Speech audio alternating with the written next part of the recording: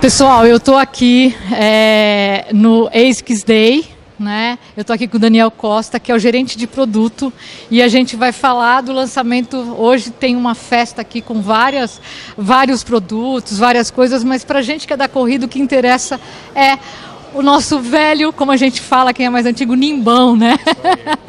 que a gente está aqui vendo o Nimbus 25 né? Mas é um projeto que vem sendo trabalhado há algum tempo e eu tive uma oportunidade de testar ele há algum tempo atrás, né, Daniel? Sim. Então, Roberta, primeiro, bem-vinda aqui ao ASICS Day. Acho que é, é muito importante para a gente né, ter a presença do seu canal aqui. Um oi para todo mundo que acompanha. E sim, hoje a gente está celebrando né, vários lançamentos, um grande ano que a gente vai ter em 2023, mas a grande estrela do dia é o Nimbus 25. São 25 atualizações, né, um modelo lendário. É, eu sempre brinco que o Nimbus, ele, se ele fosse uma marca esportiva, ele já seria uma das maiores marcas aqui do, do, do, mercado esportivo, né? Porque o volume dele sozinho é a soma de várias marcas, né? Então, realmente, ele é um calçado muito aceito e tem grandes novidades para esse ano de 2023.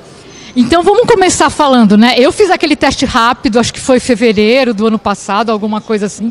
Fui lá no, no, no escritório da ESCS, fiz lá na esteira um tempinho com ele. Eu já testei ele, mas eu não vou falar disso agora, né? A gente vai até falar isso no final da conversa. Mas assim, 25 edições, o que, que ele tem de diferente efetivamente? Então, é, ele vem muito repaginado nesse ano porque a gente fez um estudo com consumidores ainda maior do que a gente está acostumado. Né? Então, 25 edições é, é, um marco muito importante, né? a marca precisa se renovar e o Nimbus ele sempre é o carro-chefe das novas tecnologias da marca. Então, ele vai carregar agora, por exemplo, a tecnologia Flight Foam Blast Plus Eco, que em, com uma diferenciação com o Nova Blast, por exemplo, ela vem com um componente ainda mais sustentável agora do que nas versões anteriores, e ele vai apresentar aos consumidores a nova tecnologia Pure Gel, que ele tem aquele gel tradicional que a gente usa há décadas né, no nosso mercado, mas agora com uma nova apresentação, 65% mais macio e mais leve, né, deixando a experiência como um todo muito melhor. E para o pessoal da corrida mesmo, eles vão notar que o stack height está um pouco mais alto do Nimbus, ele ganhou é, um pouco mais de meio centímetro ali, e isso vai permitir uma experiência de corrida muito melhor. Então, quem ama o Nimbus e é o parceiro ali do longão, que quer realmente estar tá com, com o calçado né, por por um treino um pouco maior, vai seguir encontrando uma ótima solução mas a galera que começou com o Nimbus e que hoje de repente opta por, por alguns produtos mais para velocidade e tudo mais, vai enxergar nessa nova tecnologia que quando você realmente comprime e, e bota ali a prova, que ela responde muito mais do que as edições anteriores. Então a gente está muito feliz com o resultado. Né? E os consumidores, né, a gente fez um, um painel muito extensivo, é, aonde foi comprovado ali nesse painel no Instituto na Austrália que ele é o tênis mais confortável já feito. Né? Então a gente fez testes com consumidores por oito semanas, com outras marcas esportivas também, e o resultado foi excelente. Então a gente está muito confiante com esse lançamento. É, e eu posso falar da minha rápida experiência. Eu comentei isso com vocês há um ano atrás, né? É, eu usei muito Nimbus já, mas eu senti aquela coisa da resposta, apesar de ser mais velha, mais pesada, eu tô, eu estava acostumada e gosto de um tênis de resposta. E o que eu senti, eu lembro até que alguém de vocês, não lembro quem, virou para mim e, e, nomeou assim, não, é mais, você está sentindo mais flat a pisada, né, Roberta? E é isso, né? Eu acho que ele tem aquele amortecimento típico e confortável de Nimbus, mas ele está respondendo mais rápido, né? Está respondendo mais rápido. E o que é muito bacana, se você olhar o, o ano passado, em 2022, o tênis do ano não só aqui, né, em diversas pesquisas, mas lá fora também, o Nova Blast 3 foi eleito o tênis do ano e ele trouxe vários elementos que a gente está aplicando no Nimbus. Então, é aquele momento que você aprende com o mais novo. Né? Então, o calçado que está há três anos no mercado trouxe vários elementos para o Nimbus. Então, um deles é estar um pouco mais flat, como você falou, stack height mais alto e esse amortecimento mais energizante. Então, quando você aciona, você vai fazer um tempo run, um fartlek, você vai sentir que o calçado não vai te deixar para trás. Sim. Que ele é realmente assim bem mais responsivo. E foi muito legal ter você lá, quase um ano atrás, né, que a gente utilizou até um depoimento seu para uma apresentação interna nossa, que a gente queria apresentar como essa novidade era disruptiva, né? E ter você que utilizou tantos nimbos que estão aqui nessa parede, né? É, acho que foi um depoimento muito legal para ver, cara, é tempo de mudança e o Nimbus 25 vem para isso.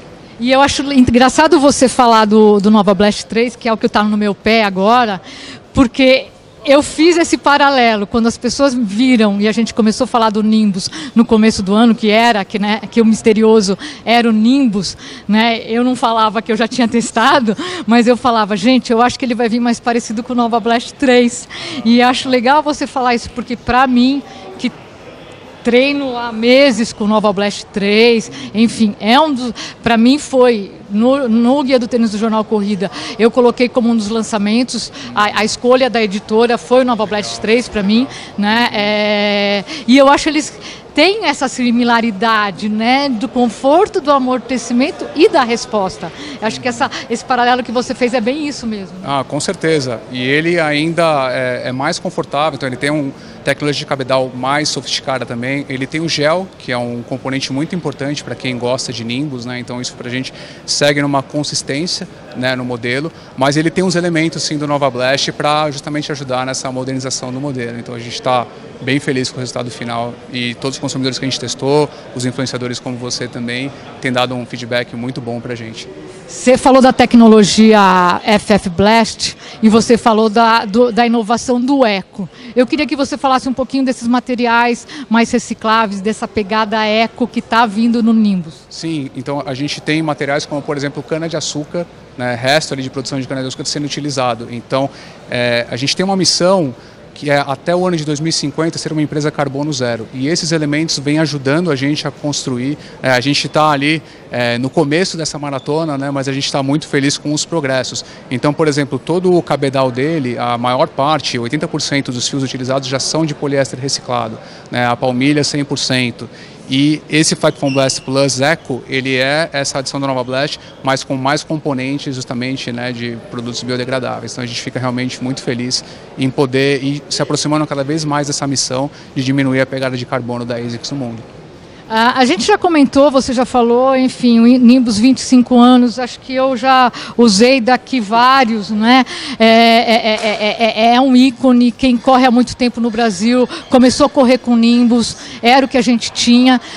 o que, que Nimbus representa para a marca no Brasil em termos de mercado? O Nimbus é o modelo mais vendido, representa, dá, dá para você falar nisso, que é um percentual de 5, 10, 20% da participação da, do, do mercado ASICs no Brasil, qual é a representação do Nimbus para a marca? Então, a gente não pode falar em números específicos assim, mas nós temos algumas leituras de mercado e nós sabemos até o nível de importação que é feito entre as marcas e o, e o Nimbus é disparado o calçado de performance com maior volumetria no mercado, porque é um clássico, né? São 25 anos trazendo inovação, né? E a gente sabe que é, ao mesmo tempo que a gente tem uma base muito leal, as novas tecnologias também atraem novos consumidores. Então, ele é quase um sinônimo da marca. Assim, se você pensa na ASICS, você lembra muito rapidamente do Nimbus porque ele é um clássico para a marca. Né? Então, é, vida longa ao Legend. Assim, a gente sabe que é um calçado muito importante e é muito bom ver ele repaginado, porque mostra que a gente vai continuar olhando para o futuro com ele também. É, o 25 tá fazendo, pelo menos a mim, fez eu fazer as pazes com o Nimbus, né? Deixa eu te fazer uma última pergunta. É quando a gente fala em tênis de corrida, em tecnologia, a gente tem que falar de preço para o nosso público. O Nimbus está vindo numa faixa de R$ 1.199, né? Quando a gente fala em termos de Brasil, não é um tênis barato, né? É, e eu queria aí usar todo o teu conhecimento, né, de quem conhece tudo do produto. É, o que, que você falaria por que vale os R$ 1.200? O investimento que a pessoa vai fazer e esse retorno que ela vai fazer. Eu sei o que vale, mas eu queria que você pontuasse esse valor é, é, para o nosso público. Legal. Ah, em composição de custos, é, hoje a gente está num momento no mercado, se você lembrar, uns 10 anos atrás o pessoal viajava para comprar tênis, né, porque era muito mais barato lá fora. Né? E hoje em dia a gente já tem uma paridade muito maior e isso mostra assim, que as marcas estão se esforçando para mesmo tendo todos os impactos de dólar e tudo mais, manter o preço o mais sano possível para o consumidor. Mas eu acho que o pulo do gato para você escolher o Nimbus versus um, um produto de outra marca é a durabilidade. eu conheço inúmeras histórias de pessoas que já rodaram mil, mil, cem, mil, duzentos quilômetros com Nimbus e o calçado está assim em ótimas condições, né?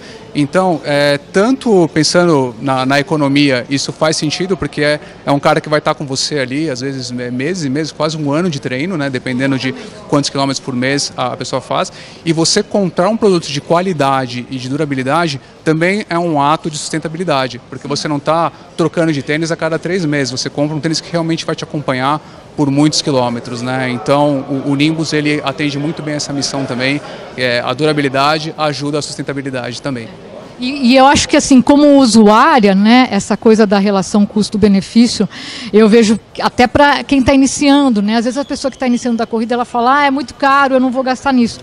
Mas tem essa coisa da durabilidade, da pessoa ficar mais de um ano, principalmente quem está iniciando, vai ficar mais de um ano, então dilui R$ 1.200, aí vai dar R$ reais por mês, né? E tem a coisa de que para quem está começando na corrida, começando a sentir o corpo, correndo, como que esse corpo funciona correndo, o Nimbus traz o conforto, traz o amortecimento, mas traz a resposta também, né? Exatamente. Não, e se fizer uma conta, dá, dá um real por quilômetro, né? Para esse produto, né?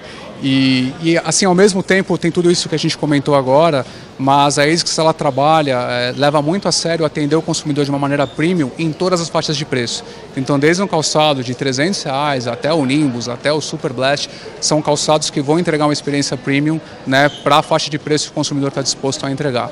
Então, se quer começar, a pessoa pode pegar ali é, o gosto pela corrida através de uma solução né, premium também, mas uma faixa de preço um pouco mais baixa.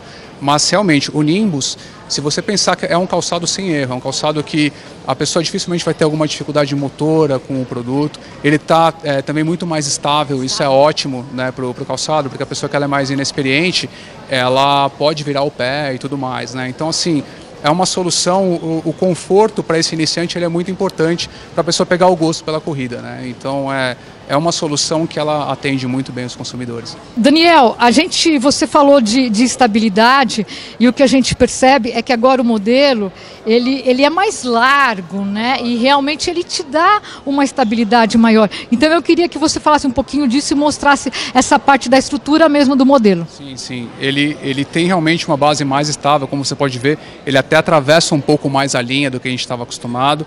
Ao mesmo tempo ele é bem côncavo aqui embaixo. Isso mostra também como você consegue acomodar bem o atleta, né? Então, uh, sendo mesmo uma plataforma um pouco mais alta do que na versão anterior, ele te oferece muita, muita estabilidade, né? E o solado, ele está mais flat né, nessa aplicação. Até se a gente mostrar é, esse que você tem aqui na mão, é, mostra como ele está bem mais flat né, em relação a edições anteriores. Isso traz muita estabilidade para o consumidor. Mas a base mais larga, você matou aqui, é o que deixa realmente a experiência muito mais estável para o calçado.